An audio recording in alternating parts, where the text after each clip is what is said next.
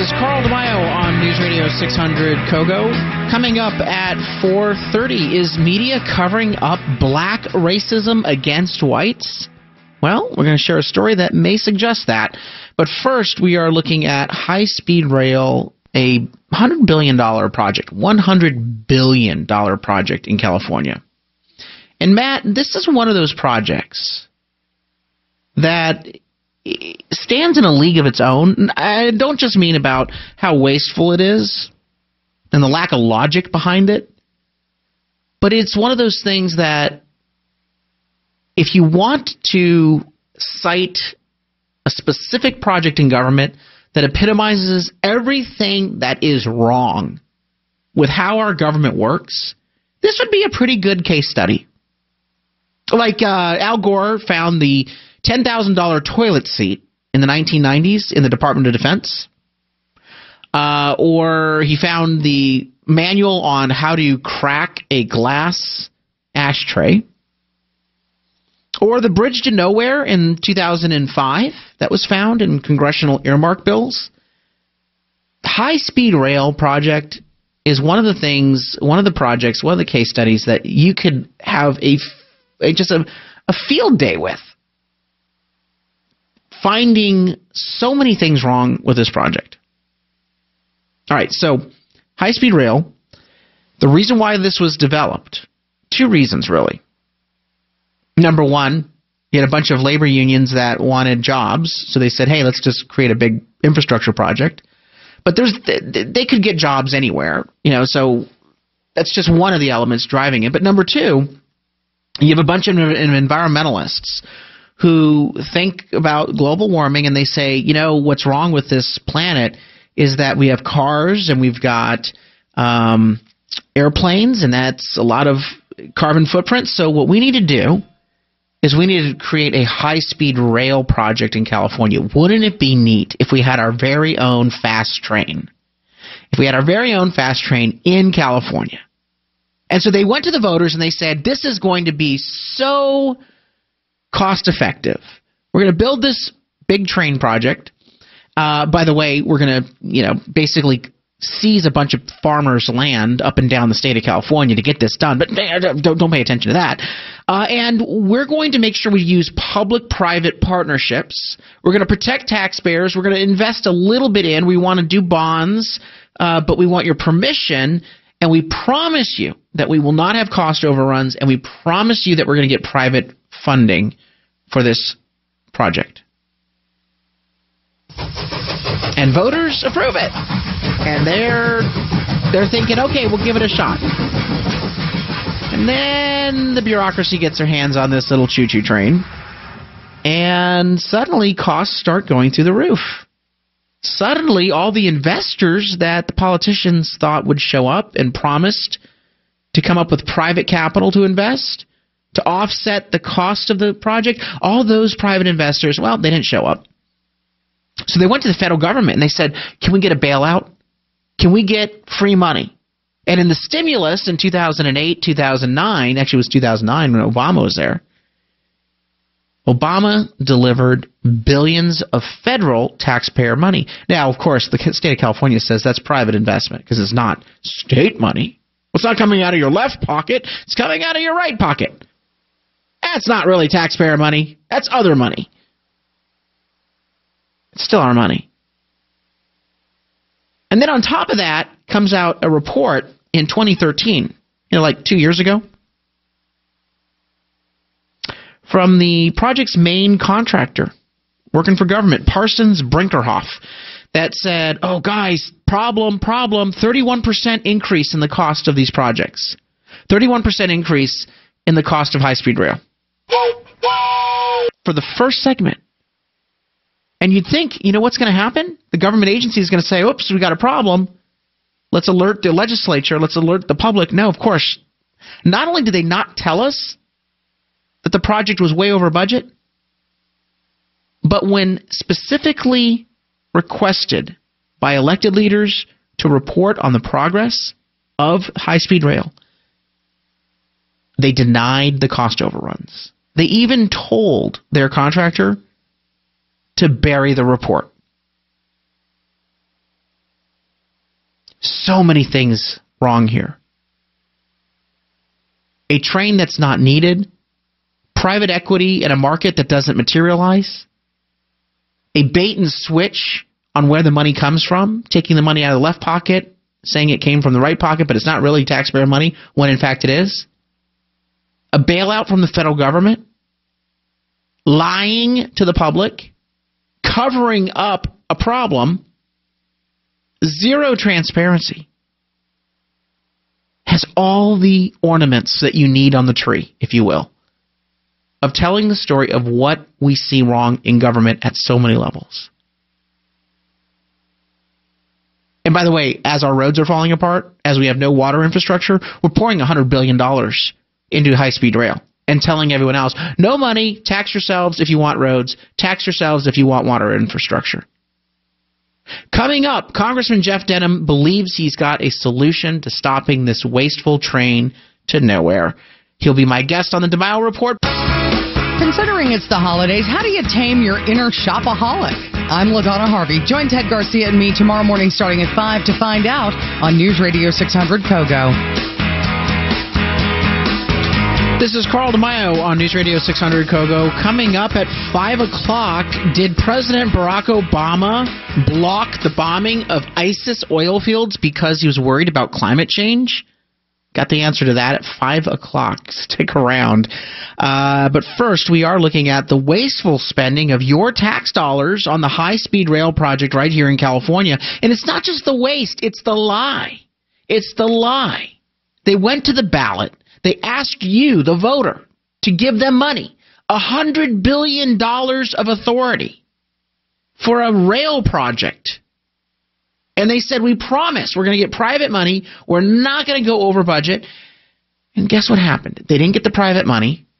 They went to the federal government to get more grants from Barack Obama in the stimulus package from 2009. That's your money, by the way, your federal tax dollars. And they're counting that as, quote, private outside investment.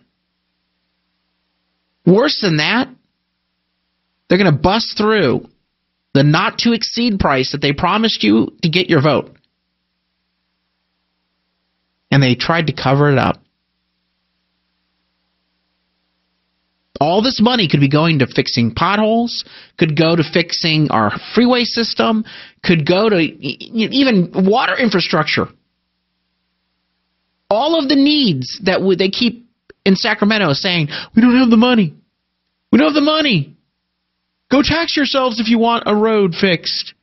Go tax yourselves if you want a reservoir increased. Well, even they, they won't do that because they just don't like the environment. Um, this project is so wrong on so many levels.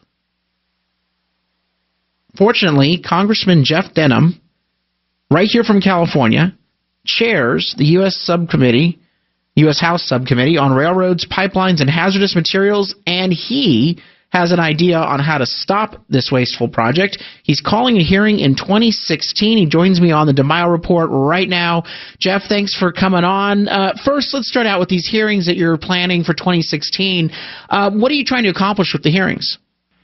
Well, I think the public has a right to know how their tax dollars are being spent and, and where we can actually have infrastructure projects that uh, utilize private dollars. And so we're going to do a comparison um, across the country of uh, projects that are moving forward. Um, what is their cost uh, per rail, uh, per rail mile? Uh, what is it going to cost uh, per passenger? Uh, and just really get a true comparison on what that looks like uh, around the globe compared to other projects. See who's in line, who's out of line. Obviously, we've had some very strong opinions about California high speed rail and their direction, their timeline, uh, their huge uh, cost overruns. Uh, but I think this is going to give them a, an opportunity to defend themselves or to um, actually see a comparison on other people that are doing it right with private dollars. So we've got uh, your prior leadership basically resulted in the public finding learning the truth about the cost overruns. This release of the Parsons Brinckerhoff report showing that the cost estimates for high-speed rail in the uh, in California are going up. They're busting the budget. A 31% increase for the first operating segment from Burbank to uh, Merced. So you're laying the case out already uh, why will another hearing be beneficial? Is there anything Congress can do to actually transfer these taxpayer monies uh, to other projects, for example, uh, water infrastructure or even highway infrastructure. Absolutely. The uh, the stimulus dollars, the, the dollars that were supposed to be ready for shovel ready projects uh, that were allocated in 2008, those revert back to the federal government next year. And so we are uh, looking at ways that we could better utilize those in California. Obviously, water infrastructure would be the biggest construction project that would uh, actually help out for California needs. But I think more than that, I, I just think that Californians have a right to know how their money is being spent. And you've got a project that has grown grossly out of control um, from what uh, voters originally approved. It was supposed to be a $33 billion project, uh, and voters were only uh, on the hook for a third of that. Now they're on the hook for a $100 billion project, and it no longer goes to San Diego or Sacramento. And so, as they have uh, cut the scope down but increased the uh, costs uh, immensely, I, I think that uh, voters should have the opportunity to vote on this again and see if this is something that they truly want to spend their money on. So, what do you think really is happening here? Because the evidence uh, that you've presented. Uh, is pretty damning. The evidence that others have come out with, audits have come out showing that this project is costing more, delivering less. It's not living up to the voter approved uh, uh, criteria that uh, were put in place uh, several years ago. So, what's the real deal here? It doesn't seem like any sort of shaming is going to change California politicians' uh, decision on this issue. What are they really trying to do? If, if it's not build cost efficient uh, transportation, is there another agenda at play? You know, it's hard to figure out what their agenda actually is. Uh, you know, a hundred billion dollar uh, project that has tripled uh, in cost is something that uh, taxpayers should. I mean, they should be flat out frustrated and, and upset about. And so that's why we wanted to go back to the ballot.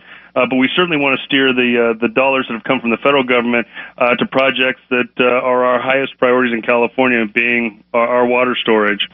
So I, I think that there needs to be more scrutiny on this project. I think that uh, we've got to continue to flush out those uh, um, legislators that want to build this at any cost um, and really, uh, I think, shame them into a position uh, where they're held accountable to the voters. So while you're doing these hearings and, and really shining a light on the problems here, uh, if California does not proceed forward, are you saying that automatically the grant money from the federal government, the federal dollars uh, that were matched to this project, that those dollars would automatically revert back to other projects, or do you think that this administration given its leanings politically, will throw uh, Jerry Brown and the Sacramento Democrats a bone and find some excuse to continue to commit taxpayer dollars at the federal level to the project?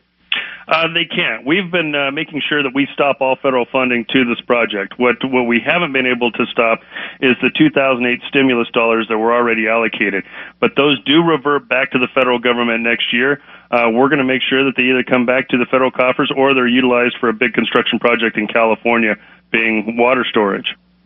So there there is the so next year if if the high speed rail authority doesn't get shovels into the ground, the money uh, that the federal taxpayers have put into this project, or at least put up for the project, that those funds would actually be, be withdrawn and put to other projects. Correct. And, ultimately, we want to show uh, a complete abuse of, of taxpayer dollars. You know, we're doing a comparison of a project in, in Texas that is high speed rail that is being done with all private dollars. We're comparing also uh, one in Florida. Yep. Again, you know, we can do high speed rail projects. We can do big projects. We just don't need to waste the money in the process. I mean, here we're going to waste $100 billion in California when two other states are moving forward at a much quicker timeline with uh, a greater uh, passenger usage and being done by private dollars. I mean, I think one one of the things that Californians are, are most fearful of is not only the hundred billion dollar expenditure, but also being stuck with the ongoing subsidy year in and year out, which means their tax dollars aren't going to be utilized for highway funds or schools or, or higher education. They're going to have this continuous sucking sound from California high speed rail. So, one last question. If you are successful with your strategy of getting at least the federal dollars for this project re, um, repurposed for other uses, other infrastructure projects, do you think that will kill this boondoggle, or do you think the tax the taxpayers in California will then have to make up the difference because politicians refuse to cancel the project? I think they'll be forced to cancel the project, or, or at least go back to the drawing board. There is a way to do this project and to do it right And you know, you can see other examples uh, in other countries. You can certainly see other examples uh, in other states.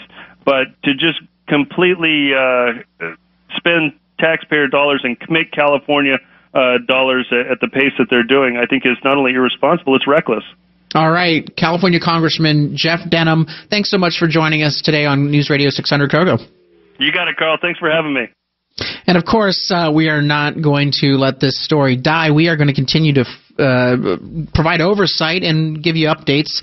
Uh, recent LA Times poll, by the way, done in um, uh, September, showed that a majority, a strong majority of Californians want the project canceled and the money spent on other important infrastructure needs throughout the state. We'll see if that happens.